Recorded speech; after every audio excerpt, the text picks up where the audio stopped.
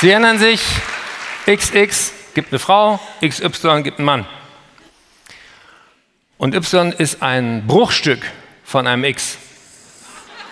Man wird, ja, man wird zum Mann durch Mangel an Information und ich wünschte, es wäre ein Gag.